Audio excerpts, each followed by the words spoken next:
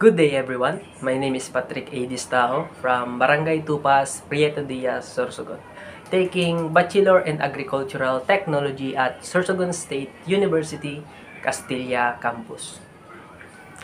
Honestly, I don't really want to take agriculture as a college course, but I didn't pass the exam way back in August 2020. I don't I don't want to stop studying, but we don't have enough money for me to go a private school. I heard that the Sorsogon State University Castilla campus still has slots available. So I decided to grab the opportunity to take a slot to continue my studies. At first, it was difficult because I didn't like the course. But as time went on, I gradually like it. And now I'm happy with it because I already know a lot about agriculture. Based on my perception or understanding of ruminant animals, those are the mammal animals that are herbivores. Some of these we benefit from it our daily lives in terms of food, labor, and so on. It usually eat grass, which they, they only see around them or is fed to them by their owner. Like I said earlier that they are herbivores. So this is how they eat. So, what are the similarities and differences between ruminant animals compared to other animals. The simplest example to understand the similarities and differences between ruminant and non-ruminant animals is the, the structure of their digestive system. In terms of similarity, both ruminant and non-ruminant animals have a complete digestive system.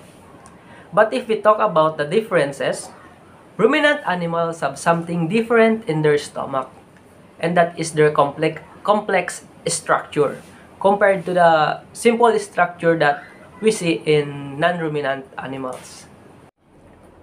So, how climate change affect ruminant animals? Climate change has a negative impact on ruminant animals' health and quality of their produce.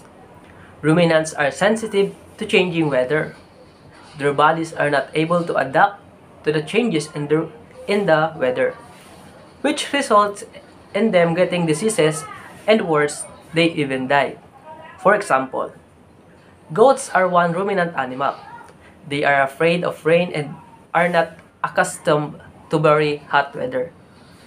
They live well at their usual temperature. When it rains, the goats often suffer from diseases. When they experience extreme heat, they get heat stress. This is due to their body's inability to adapt quickly to temperature changes due to their habitual temperature. Another example is that produced by ruminant animals. Oh, how what what is they can produce? Like meat and milk. Because of the changing weather, the product may become low in quality. The strategies I can think of to mitigate its impact to prevent loss of production are numerous. Like, like if you are a small owner of ruminant animals, you can create a facility where they will be housed if they are already experiencing climate change. Make sure that the facility has an adequate temperature and it should be suitable for the normal temperature of the ruminant animals. So, in that way, they can reduce the possible loss of production of ruminant animals. So, that's all. Thank you.